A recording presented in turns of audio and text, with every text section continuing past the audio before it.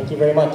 Uh, that was the Highlands Jazz Band with uh, Birdland. Our next number is known as uh, Here, There, Everywhere. It's a Beatles classic off their album Revolver. So here's uh, the Highlands Jazz Band with Here, There, and Everywhere. Thank you.